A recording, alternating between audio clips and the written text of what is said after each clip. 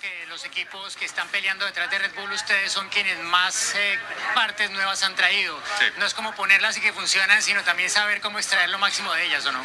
Sí, y ha, sido un ejercicio difícil porque he puesto las, las mejoras esta noche y, y solo teníamos la FP3 para, para probar lo que creíamos después de los datos de, de Lance de ayer. Así que creo que todavía falta un poco más de, de exprimir al coche si tuviésemos más free practice, a ver si, si en China lo conseguimos.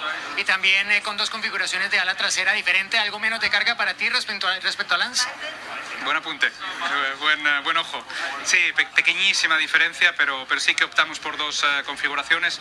Eh, no tendría que ser más de un kilómetro o un kilómetro y medio por hora, así que muy, muy pequeño, pero, pero bueno, veremos mañana si afecta algo a, a- a la competitividad en carrera, el desgaste de los neumáticos. Yo creo que estamos en una fase todavía de aprender muchas cosas del coche y por eso hemos optado también por diferenciar los coches.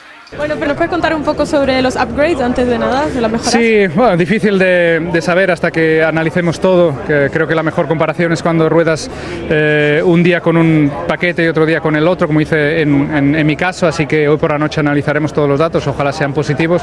La verdad es que he sentido bien el coche, eh, hemos sido bastante competitivos en la crono y, y la verdad es que no me esperaba estar tan arriba, ¿no? a, a cuatro décimas de la pole. Hace seis meses estábamos aquí en, en septiembre a un, a un segundo y medio de Verstappen y ahora estamos a cuatro décimas, así que muy muy contento por eh, el paso del equipo y, y, bueno, delante de los Mercedes, delante de un, de un McLaren, ha sido, ha sido una buena crono.